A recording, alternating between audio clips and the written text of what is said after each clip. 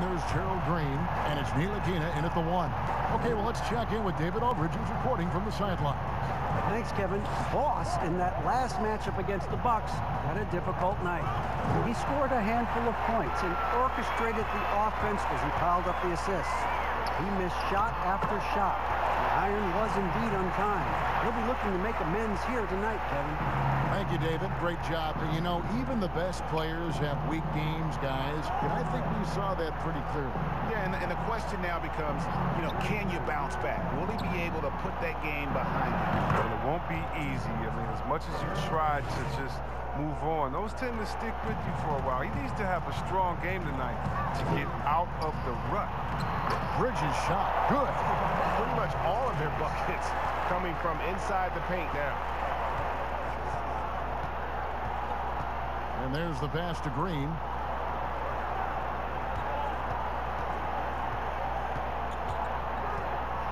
At the floater, two free throws coming up, and they call the shooting foul. Craig, you were a physical, defensive-minded player.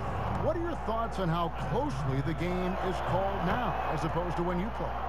It, is, Kevin, and, and yeah, some people like the physicality of the era I played in, but you know, I like the beauty of the game with the spacing and the freedom of movement, and I think that's one reason why you see so much switching. It's hard to fight through screens without fouling, and ball handlers have become experts at drawing contact, even if it's, you know, incidental, and I think that's just an area where the game has changed so much that that ability to play in space is so vital. Right side, Green. Great D that time from Boss. And with the success they've had rebounding the basketball, they're right where you'd expect them to be, firmly in the driver's seat. Uh, assists like that have typified their effort today. Terrific ball movement. And we're just about two minutes into the second half now. Quickly, he's covered by Washington. Passes it to Ntilikina. Five on the clock, and he hits the jumper for two. Ntilikina's got eight. I really like the rhythm Ntilikina plays with. Good at sensing when to shoot off the pass. Boss passes to Zeller. Robinson with the block. Green against Bridges. Quickly. A three-pointer off the mark. Hornets leading by 16. Puts one up from 19. Hits the front of the rim and out. For New York, they've gone 2 of 4 here to start the second half. To the middle. And it's Green with the jam. Those are some serious hops. Do you remember him blowing out the cupcake on the top of the rim? Sick. So Charlotte calls timeout. They're first. Both teams.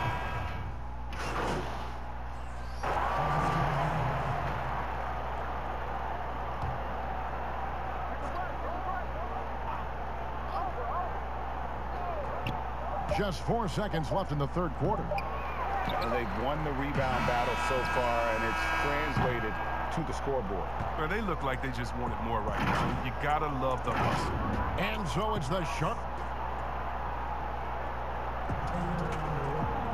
And there may not be a lot of drama down the stretch as we head into the fourth quarter, but stranger things have happened.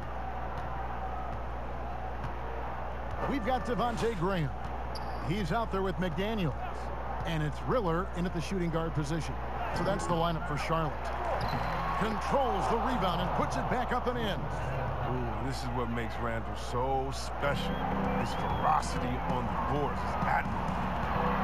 Fades and shoots. And that one is good. And nice job taking what the defenders gave him. But these guys need a gut check right now. I mean, I don't know what they were thinking. You have to know the scouting report. He's a threat from out there.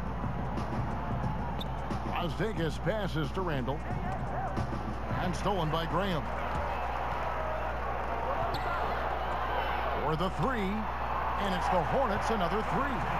I mean, I don't always like the three on the fast break, but the D was set up well inside. Here's Harper.